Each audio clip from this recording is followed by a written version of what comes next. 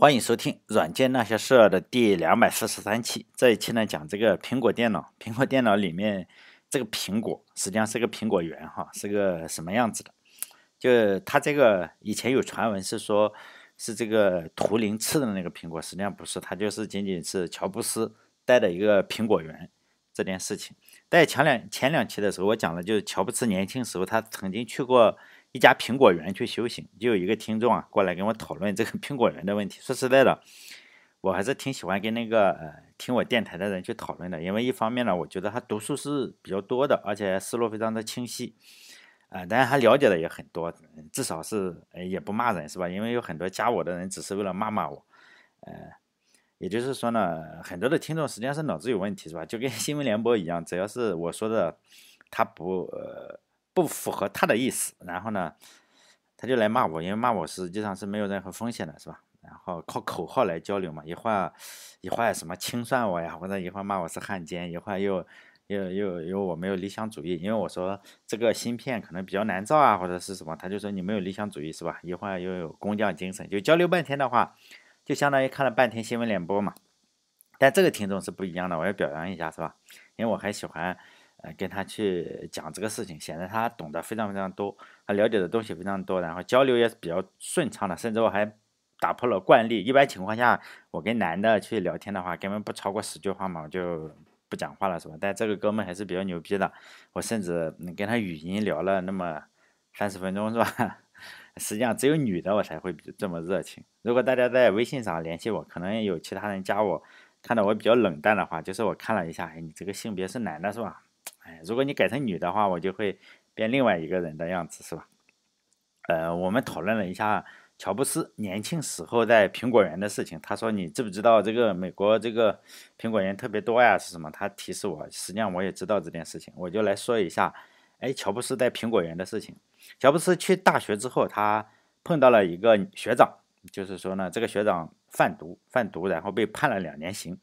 呃，这个学长当时呢有二点四万片迷幻药，然后呢价值高达十二点五万美元，结果就被条子抓了，是吧？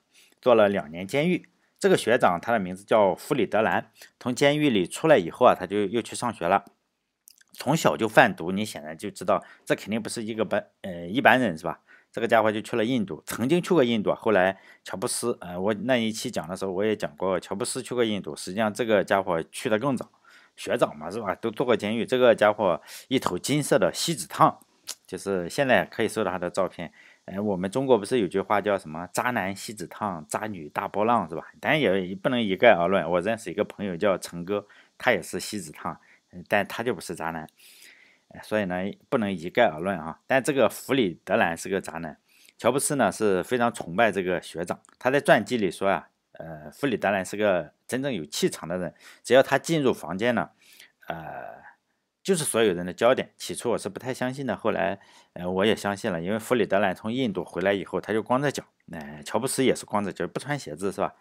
呃，然后穿着印度的长袍，还是学生会主席。一张口的话，他就是说我曾经被这个美国司法部门坑了，在里面蹲了两年。我的目标啊，就是推翻美国的司法制度，建立自己的王国。说实在的，你。坐过牢，然后穿长袍，气场肯定是非常足。再加上自己又是贩毒，他的父亲呢是个呃奥斯维辛集中营的幸存者，叔叔呢是个瑞士的大螺丝的商人，螺丝啊，呃，就是我们拧螺丝的这个哈，是个螺丝的商人。他他的叔叔的名字叫马塞尔穆勒，哎，是个非常非常有故事的人。为什么讲呢？叔叔呢？因为他叔叔虽然人在瑞士是个大富豪，但是呢喜欢在买地。在美国买地就跟很多中国的富人一样，是吧？在美国买公园、买湿地，然后呢，在中国赚钱，然后呢，说做研究，是吧？他叔叔呢，可能就是在美国，呃，买了一千五百亩地，就土地，是吧？种上了苹果树。因为他，呃，叔叔是在做生意嘛，你可能大部分时间在欧洲，不经常来这个美国，就让弗里德兰，呃，就就他侄子嘛，是吧？你就在那里折腾嘛，就一千五百亩地折腾。然后呢，这个弗里德兰就把这一千五百亩地改造成了一个叫做 All One Farm，就是叫一个农场嘛，All One Farm，我也不知道怎么翻译是吧？All One Farm 的地方，在那里呃干什么事情是没有什么记录的，他们有没有说是吧？只有两种可能，一种可能就是他们天天在那里学习背单词啊，或者是做数学、画画，然后陶冶自己的情操；另一个另一种可能就是那群男男女女过着没羞没臊的生活。这两种生活到底是哪一种？但是我们没有办法知道，的？我们有没有去做过，只能猜测。猜测的话，比如说乔布斯啊，让两次让他的女朋友不伦男是吧怀孕，第一次是流产了，第二次是没有流产，然后生了一个私生女，就是在这个苹果园的时期。同期呢，乔布斯还读了一本营养学的书，营养学的书啊，呃，名字叫做《非粘液饮食治疗学》，作者呢是个德国人，他叫阿诺德·埃德雷。这本书里讲什么？就是人呢，你只能吃一些苹果呀，或者是呃什么东西是吧？就身体上是不会产生粘液，而且呢还要通过定期的绝食来清理身体。乔布斯呢就当时呃在苹果园里是吧，天天啃苹果，苹果没熟的时候就吃什么芹菜，就是咱们讲呃不知道美国的芹菜是不是这样，咱们咱不知道是吧？可能就是他是说芹菜，我搜了一下这个单词是芹菜，嗯，其实我也不认识这个单词。反正苹果和芹菜，可能美国芹菜不一样是吧？反正应该不太好吃，我认为不好吃啊。芹菜炒了都不好吃，更不是说生吃芹菜。但中国也有是吧？中国目前很多有钱人也喜欢这么做，尤其是 IT 界的是吧？中国的古代就有叫什么屁股，像张良，大家知道张良哈？张良也是《史记》中说张良为了屁股差点把自己饿死，最后吕后实在受不了了是吧？干预一下，呃，才让他吃东西。最后救救回来了，但是饿了已经不行了，是吧？又活了八年，然后去世了。哎，当然了，屁股最厉害的一个人是谁？叫 彭祖，说他八百年，是吧？八百年没吃东西，然后活了八百岁。我认为这个，哎，可能性不是很大，是吧？活了八百岁，是吧？活八十就就已经特别高龄了，基本上不太可能。他叫李少君，哎，屁股的名人是吧？屁屁股名人录，李少君嘛，就是像古代人是吧？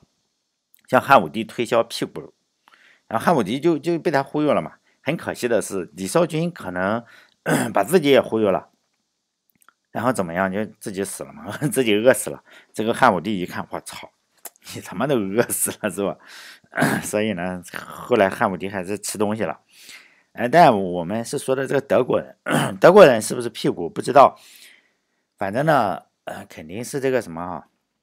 肯定就是说，呃，要要要吃东西这个样子，嗯，要不吃东西这个样子，嗯，乔布斯嘛，曾经的偶像是吧？这个德国人最后怎么样？就是屁股之后，他不叫屁股，就是断食嘛，断食有有的叫轻断食，有的可能他重断食太厉害了。这个德国人重断食太厉害，可能你你起起来之后就血糖低啊，我我也是我瞎猜的，血糖低，然后一起来就倒地了，你可能坐在那里。嗯，不吃饭是吧？血糖肯定低，然后一起来倒地，一头一下子就栽到了沟里，然后就这样摔死了是吧？死的时候跟乔布斯一样大，五十六岁。乔布斯去世的时候也是五十六岁，这都是命是吧？当然，我我个人是不屁股的，为什么呢？哈，因为呃，可能屁股是有用，也也许没用。我我怕又有电台的读者跟我争论哈，因为我我是喜欢吃肉啊，吃烧烤，喝可乐是吧？因为我是司机嘛，我开出租车，工作非常的累。如果不吃饭的话，你这个血糖一低，开车就不安全，是吧？所以呢，不要劝我试试屁股，我我是真不能试，万一把车开沟里去了，是吧？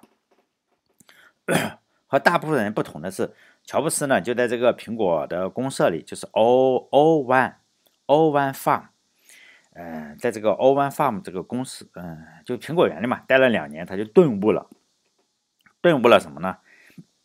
他认为天堂根本不可能实现，是吧？无论谁宣传的话，他以后再也不相信这个公有经济，也不相信就是谁是慈善家。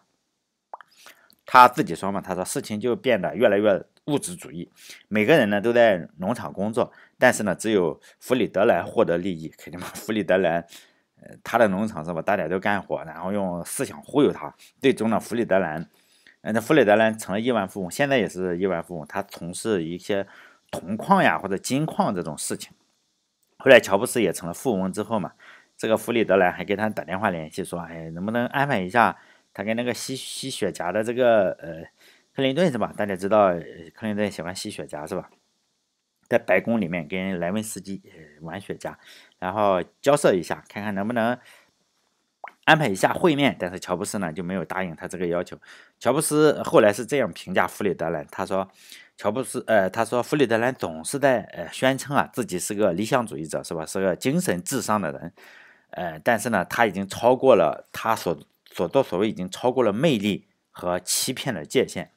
你年轻时候认识的某个号称精神至上的人，呃，然后最后变成了一个彻头彻尾的大忽悠，就是只只忽悠钱，是吧？淘金者，真是一件非常奇怪的事情。这这这句话。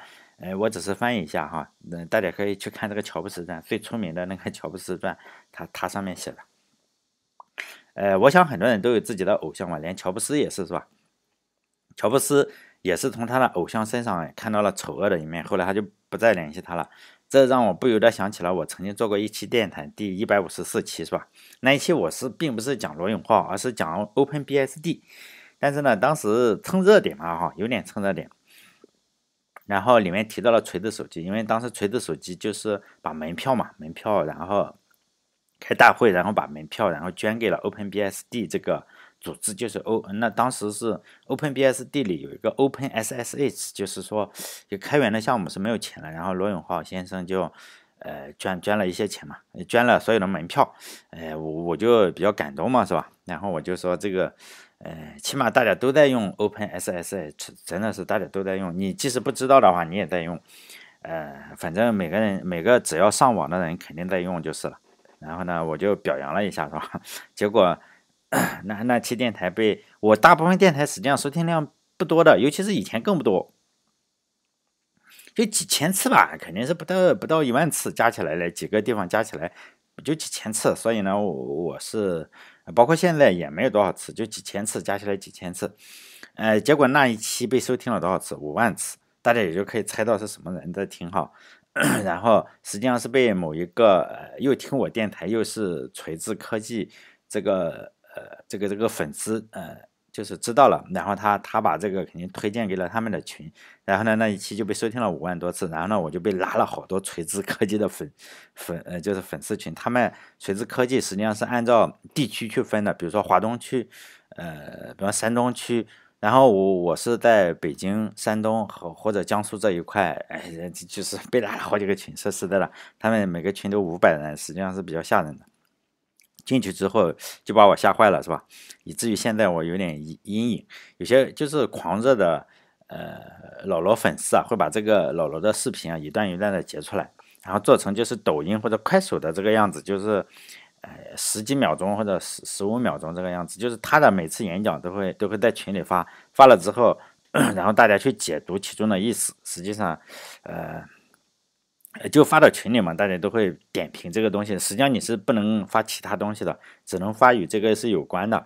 然后后来有一个比较狂热的，呃，后来我我我我其实我加了几个比相对我认为比较狂热的，呃，加到了我的以前没有被封的一个微信群里吧。但后来我也退掉了那个群，现在我还有点不适应，就是他的 ID 叫小蘑菇。但我也不知道他是做哪里人，应该是南方人哈。现在我是有点不适应，他他在群里只发三种内容，一一个就是老罗的视频，就是老罗的视频翻来覆去的放，最后实在受不了了。另一个视频就是另一种内容吧，不能说视频哈，就照片，就是小姑娘，呃，并不是成年人，就是小姑娘，嗯，五岁吧，五六岁这个样子，天天发这种五六岁的小姑娘啊，就特别的，我我认为一个正常的人是。不会这样去发这个五六岁小姑娘，但是他发老罗视频，我是不说的。但是我说你能不能不要发这种，哎，非常年轻的小姑娘是吧？哎，还有一种就是卖鞋子，但后来我我是把他，哎，是因为我加了他的群嘛，哎，我实际上我是退掉了，退掉之后我也把他从我的群里就是拉黑了嘛，退掉了。后来就是他不停的卖鞋子，但我我是因此呢，我就有了一个错觉，我就觉得罗永浩的粉丝啊是特别容易做微商。除了卖鞋子，哎，我还见过好多这个给我卖鸭蛋的，是吧？卖枸杞的，卖菊花茶的，就是罗永浩的粉丝。然后他们会做跟风格跟罗永浩 一一模一样的这种视频，就是说不停的做视频呢，就说你听懂了吗？哎，我这个鞋子为什么好呢？因为它是鲨鱼皮技术，是吧？哎，为什么是鲨鱼皮呢？他就给你讲鲨鱼皮是多么好。其实我感觉那个拼多多上你买这样的鞋子可能就是二十块吧，但是。他卖三百六或者是五百八这个样子一双，还就是有点贵是吧？也可能是能治脚气吧，或者是鲨鱼皮有什么好处？后来我才知道鲨鱼皮是一种，那个，呃，并不是鲨鱼的皮哈，我当时认为是鳄鱼皮鞋或者鲨鱼皮鞋。鲨鱼皮实际上是一种高科技，哎呀，我也不知道多高的高科技是吧？就说是龙永红推荐的，我我我不知道他卖了多少鞋，反正以前在我的群里卖过，后来我实在受不了就踢掉了是吧？天天卖东西也实在是受不了。但我觉得乔布斯这样的人就不同嘛，乔布斯这样的人是非常非常厉害，是吧？他只用了一年多的时间，他就明白了，哎，这个事情是怎么回事？呃，有的人一生是弄不懂的。有两件事情，实际上是，虽然我我也讲了乔布斯很多的这个啥，我也我说实在，我不崇拜乔布斯哈，我不崇拜任何男人是吧？女的还可以崇拜。有两件事情是让我特别服乔布斯的哈。一件事事情是他中学的时候，当时他十三岁，他就拿了一个 一九六八年的一份生活杂志。那杂志的封面上就是有一个有一群嘛快饿死的这个尼日利亚的小孩，就是叫比夫拉地区哈，尼日利亚比夫拉地区，就那个地方有战争，然后战争肯定是嗯。就是小孩肯定很饿嘛啊，这个这小孩子你说他能做什么事情？就是说要饿死了，那尸体或者饿的特别特别瘦，就是尼日利亚比弗拉地区的小孩饿的不行了。然后，嗯，乔布斯啊就问这个他们要去教堂嘛？美国的小孩可能要去教堂，叫什么主教日还是什么的？然后乔布斯站起来就拿着这个杂志 问这个主教说：“那上帝既然都知道，他知道这些小孩要饿死了嘛？”他直接就把主教给问懵了，是吧？这个主教就说：“上帝是知道的。”乔布斯就说：“既然知道，你这个上帝为什么不去救他呢？这这么可怜，是吧？”然后呢，他就再也没有去过教堂。但这个也是他传记里写的。另外一件事情就是说，呃，奥奥万 farm 这件事情啊，就是他在苹果园的事情。他虽然把苹果电脑用了这个名字，但是我还是很服他，是吧？他说这个苹果园是怎么回事啊？他是说呢，每个人都想建立一个公平的。公平像伊甸园一样的世界，就是没有差别，没有什么，没有什么，就是这样。结果去了以后啊，最后特别的物质主义。他出走的那天晚上，他也干活是吧？他在榨苹果汁。他出走的那天晚上，他就在睡睡着了，在厨房里做这个苹果汁，呃，底下睡着了。然后结果他就听到有人进来。他在桌子底下睡着了，他就进来之后，他可能就偷听嘛，或者偷看。结果他发现平时那几个最光明正大的两三个人嘛，就是讲天天领导嘛，整个果园的领导，包括什么的领导进来干什么？偷吃东西，厨房嘛，偷吃东西就是可能吃牛排或者是什么哈，反正吃偷吃东西。然后呢，这两三个人平平日里都是讲爱啊，或者平等啊，或者是 是吧进取啊什么的。还鼓励什么？鼓励其他人，你就吃芹菜是吧？吃吃苹果，吃芹菜，但他们吃的要好，而且还不要报酬是吧？呃，这几个人是又要报酬，还会分这个利润，就是他们苹果园里生产几种，就榨汁呃苹果汁，榨汁机，还有就烧柴火的炉子，反正你你总要做卖点东西嘛。结果卖了这个烧柴火的炉子，这几个呃肯定有利润嘛。这些这些信徒都傻了吧唧的干活，这些利润被被。被这几个人分了，然后呢，这件事情就被这个乔布斯在躺在桌子底下听到了，是吧？然后呢，他就觉得起来之后啊，他也就觉得一切很恶心嘛，然后他就离开了这个苹果园，他从此也就不再相信这种共产主义啊或者什么事情了，嗯。但这这这就是苹果园的事情，但是我没有办法知道他在苹果园做过什么事情。你说人家布伦南都没说，我们也不能瞎猜在里面做过什么事情。确实有私生女是吧？应该是，呃，应该不是说他的这个布伦南吃了一个苹果然后怀孕了。我认为这个是不太合理的。这让我想起来另外几个公社吧，因为美国这种公社相当多，我们。可以类比一下，看其他的公式哈。我想起了另外的公式，我不知道现在历史书上还写不写。以前我们的时候是写的，叫空想社会主义，就说呢，你这个 空想的是吧？这个想法实际上，空想社会主义的人特别多，他们都基于一个什么？一本书啊，叫《乌托邦》。这本书实际上是流行于十九世纪初期的西欧欧洲哈。但是呢，代表人物有欧文啊，不是踢球的欧文，圣西门和傅立叶。傅立叶也不是做傅立叶变换的那个傅立叶，人家名字一样是吧？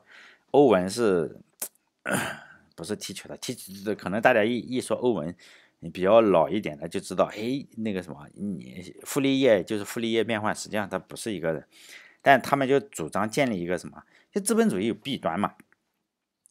资本主义有弊端。哎，我们要消灭资本主义，然后这这些人呢，就就敢想敢干，又又有钱，主要是还是有钱，他们就去美国。当时美国相对来说比较地广人稀，是吧？你去哪里可以搞片地，不值钱。然后他们就去美国搞这个理想主义，是吧？搞这种叫啥公社，是吧？公社。就其中最著名的就是欧文嘛，欧文在美国的印第安纳建立了新和谐社会，对，他的名字就叫新和谐社会。有时候，哎呀，说实在，我听到这个和谐社会，就是它叫 New Harmony Society，New Harmony Society。然后呢，呃，为什么叫 New 呢？哈，因为它以前就叫和谐社会，以前的时候叫和谐社会，就是说和谐社会是德国人建的，他觉得德国人建的不够不够好，是吧？他就要建一个。新的和谐社会叫 New Harmony Society，这个很奇怪是吧？诶，尤其是我听到和谐社会，我就 觉得，哎，这这些人真没有文化是吧？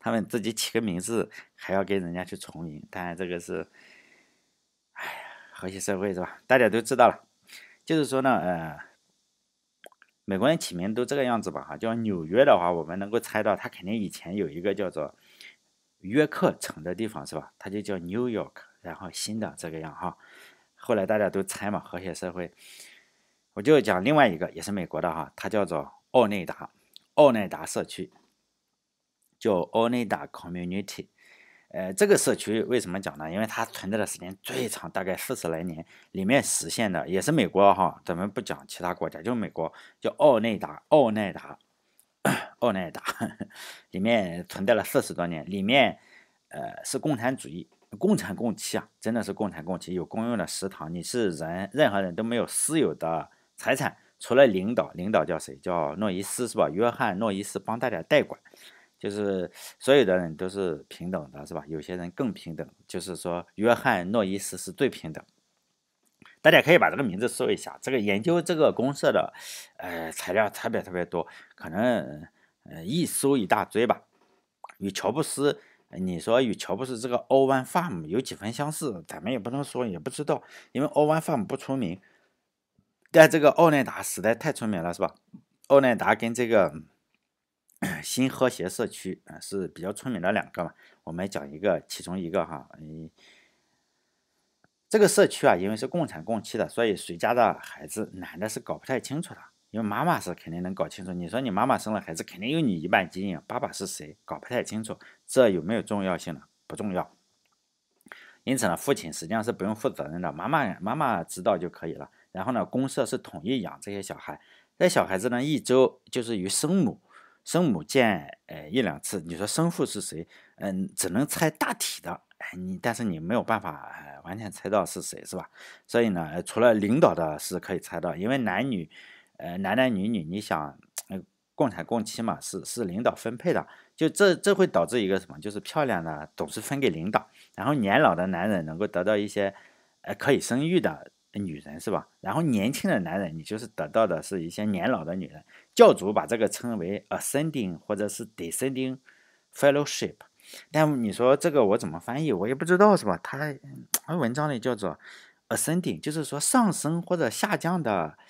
呃，伙伴关系就是说，你不是领导的话，你肯定就是年龄是有错位的，就是你年轻的小伙子分到的是已经五十岁的女人，或者是五十岁的男人分到的是呃十八岁的这个女人，是吧？勉强我我把它称之为 ascending 或 descending fellowship 的话，我把它的翻翻译成为忘年交吧，哈，忘年交或者升华交，反正就是说，呃，两个是你这样的话就很难有后代。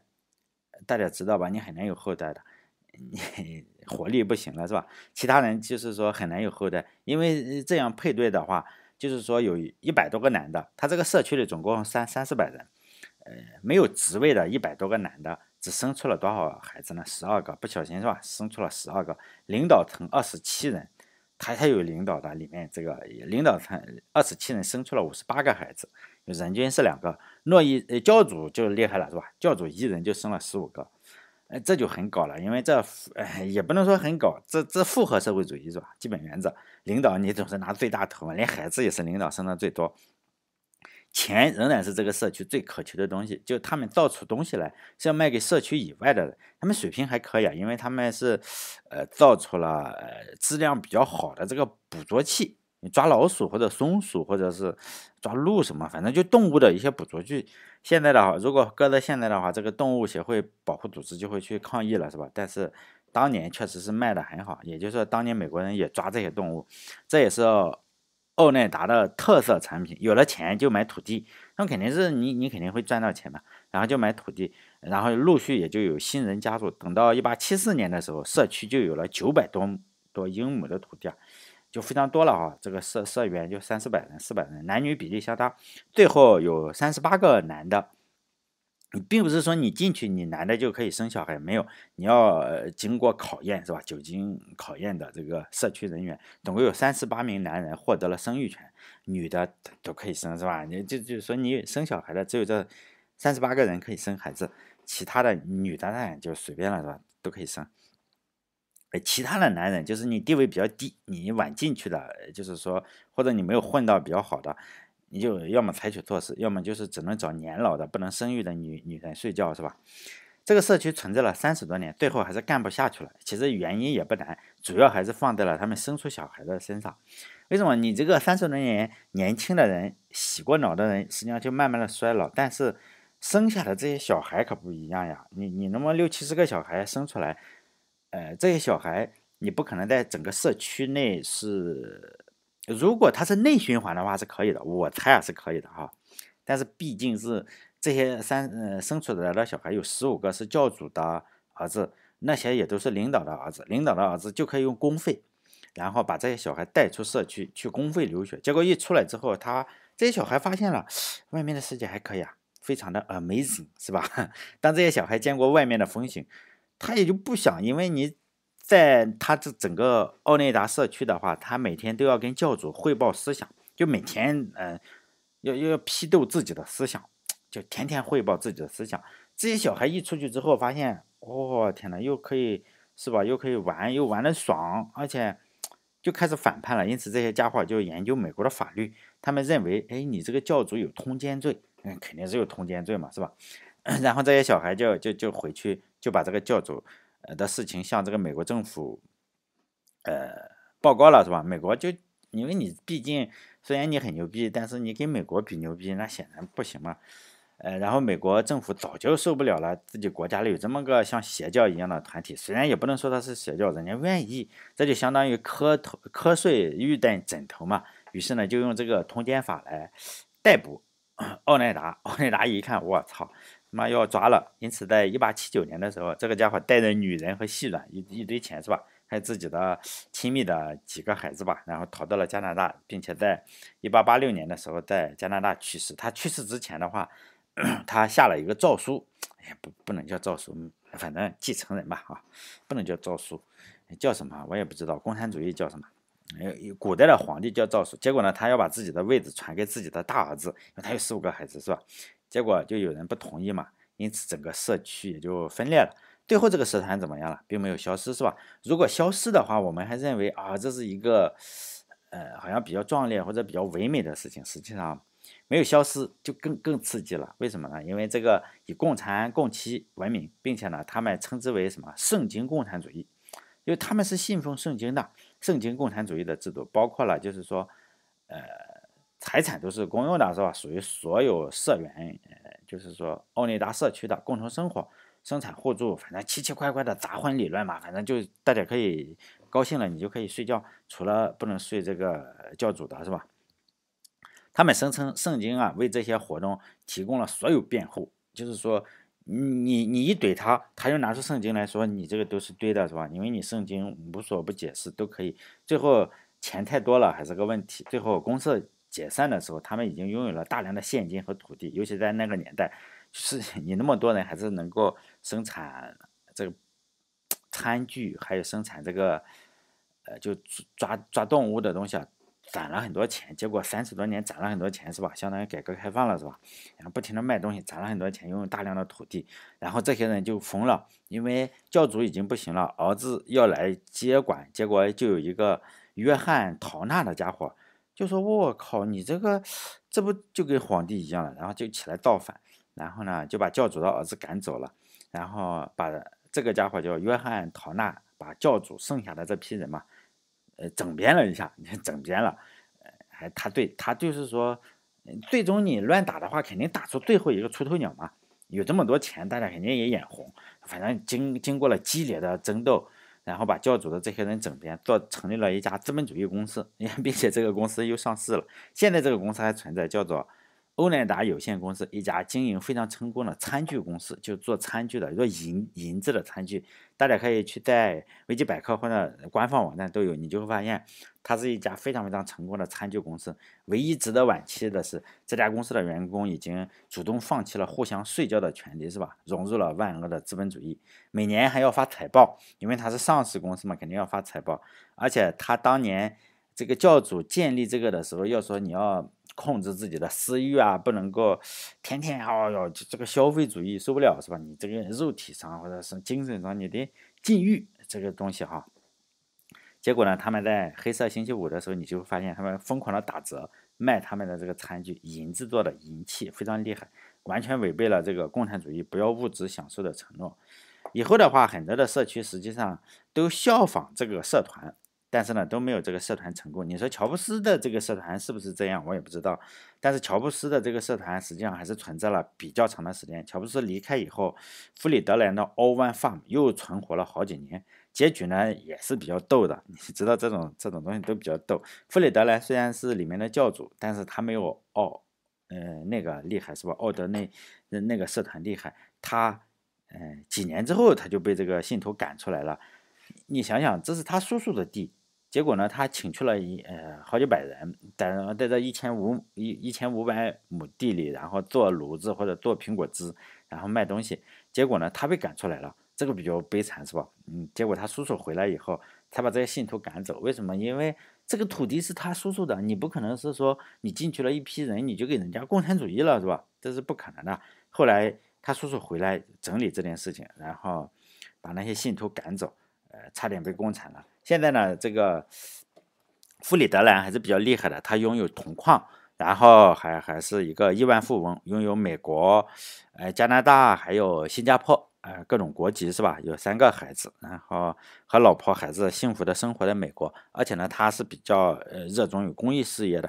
现在大家可以看到他活得还很好哦，你如果搜的话，还经常见他呃搞公益事业，就是哎呀，我这个。银矿里不能哪个地方的银矿啊，不能雇佣童工啊，或者铜矿不能雇佣什么，就这种东西，他还经常出来发表个演讲。好嘞，这一期就讲到这里，就讲了一下苹果公司，哎，这个苹果园的来历哈，它确实与这个是有一定关系的，大家可以去找相关的资料吧。好了，这一期就到这里，再见。